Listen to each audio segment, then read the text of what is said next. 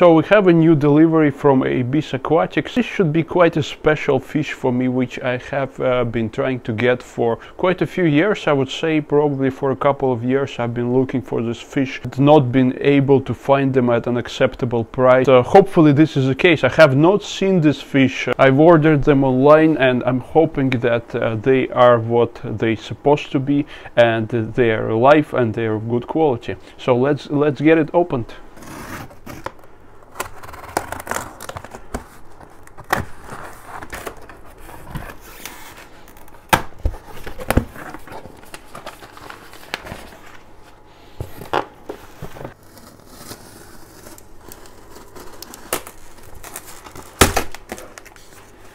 So this uh, supposed to be Corydoras multiradiatus, formerly Brochis multiradiatus, also known as hog-nosed.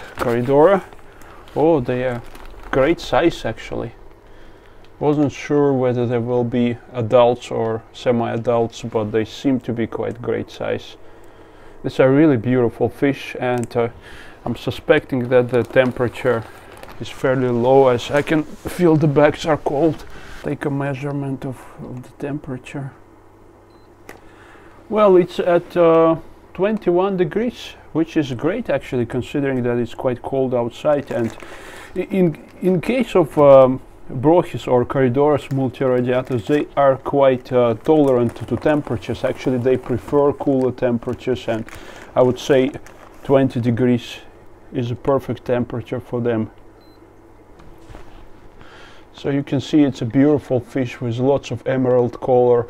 They're different from Corydoras uh, splendens, formerly Brochis splendens, because they grow larger and they have a bit more of this iridescent uh, emerald color on them and also this orange uh, lower part of the body. So potentially I, I will uh, keep this fish in our shallow long uh, main display tank which will be an unheated tank and uh, uh, some sort of an imitation of a flowing river where this fish will perfectly fit in. Uh, there are six of them in here and uh, they are all alive as far as I can say. They're all great size,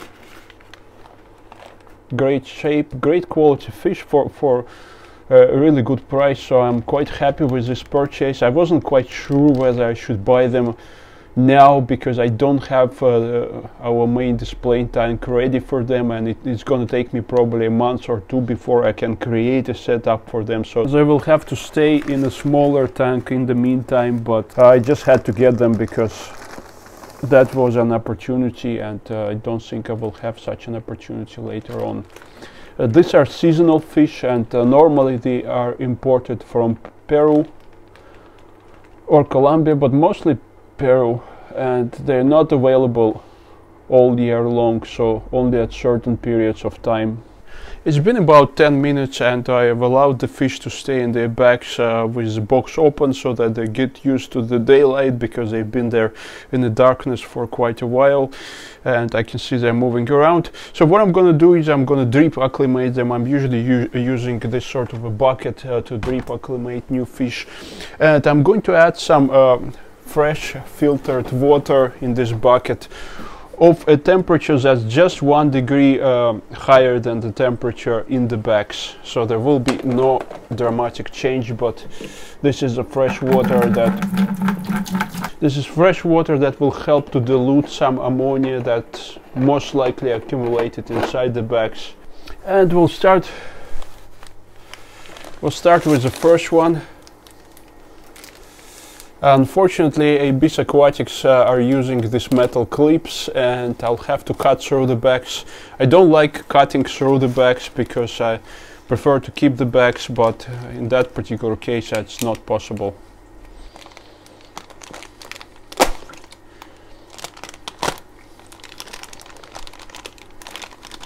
Normally the, open, uh, the moment we open the bag, ammonia will be accumulating, so it's important to release the fish as soon as as soon as possible.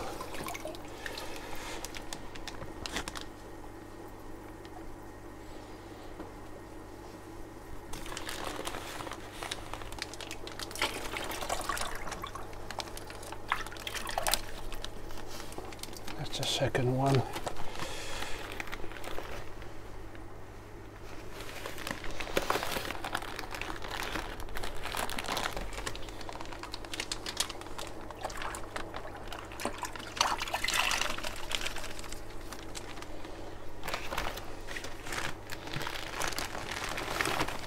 Sure, I'm gonna add an air stone and uh, I will uh, remove some of this water, the water that did come with them and replace them, replace it with a similarly temperatured filtered water, clean filtered water. And uh, then I will be slowly adding water into this back uh, into this bucket from uh, the tank, from the tank there where they will eventually uh, be leaving. And for now, I'll just close them down with a lid so that they will calm down and uh, slowly acclimate. It's been approximately uh, 10 days uh, since uh, we got these Corydoras multiradiatus. They've been quarantined in a plastic tub, which I didn't show you. And now I moved them to the tank where they will be again temporarily until we set up our main display tank. This is a tank where I have my cardinal tetras and uh, checkerboard uh, cichlids. They seem to be quite settled, although they're still quite uh, quite shy and uh, hiding a lot and uh, not being very active overall, to be honest. But I, I would probably expect them to be a bit more active if there was uh, some sort of a flow or, or fast current and they would probably enjoy that but I cannot I can't have too much current in this tank because of the smaller fish in here. I'm going to uh, try to throw in some live black worms which I'm um, cultivating in one of the tanks in my fish room and here have some live black worms and I'm going to collect them right now and I'm going to try to entice uh, this uh, uh, Corydoras to come out and feed on them because they really enjoy uh, those uh, black worms. And I feed them usually every day some live black worms uh, because they're wild caught fish and obviously they would enjoy something like that. So I will collect now some black worms. Uh, don't know if you can see there's kind of a whole bunch of them in here. I'll try to focus on it and side uh, here.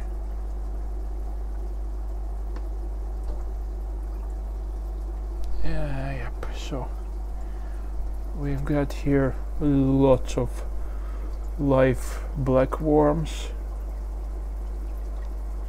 Here they are. And we're going to try to feed them to Corydoras. Just bear with me while I'm doing all these things. Yep.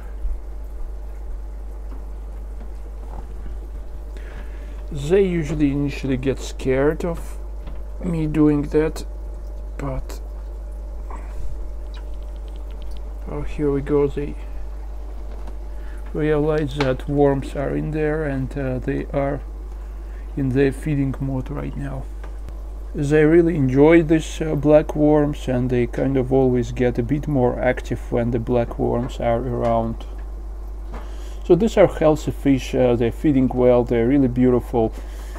But uh, yes, I don't have a specific tank where I would like to keep them right now so they have to stay in here but uh, once our main display tank will be ready uh, they will be moved in there and that will be a much larger setup with, with lots of space for them to swim and lots of current and also cooler temperature they, they like cooler temperatures they like room temperatures actually but because of all these cardinal tetras in here I have to keep this tank at about 25 degrees Celsius which is uh, probably a bit too much for for for Brochis um, for generally for this uh, genus of Corydoras.